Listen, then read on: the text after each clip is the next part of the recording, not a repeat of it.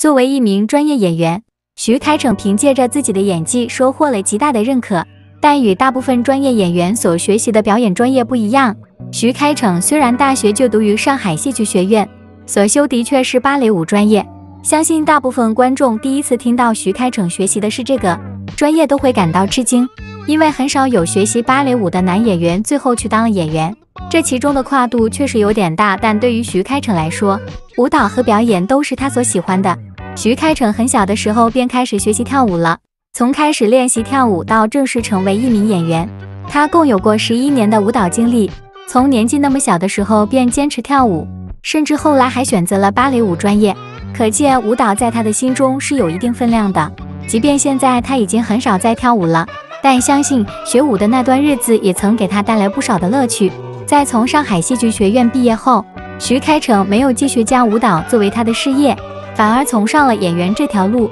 他很快便和明道工作室达成了协议，正式成为了明道工作室旗下的签约艺人。对于徐开骋来说，从一个舞蹈生转行到演员，其中的困难不言而喻，但是他却还是义无反顾地选择了演员。而在确定自己的事业生涯后，他便开始投入到了专业知识的学习之中，希望能够将那些落下的专业知识早日补上，也希望自己能够早点给观众带来一部好的作品。虽然其中的过程略显困难，但他始终没有放弃。后来也成功的在一部又一部优秀作品中崭露头角，也渐渐的有了一定的知名度。虽然很渴望通过作品得到观众的认可，但徐开骋却并非对所有资源都来者不拒。相反，他会筛选掉那些不适合的，从中选出一些质量比较好的去尝试。即使是一个小角色，只要他认为这个角色有吸引他的地方，那么他都会试上一试。而非用番位来局限自己的选择，这样的选角态度在娱乐圈还算是少见的。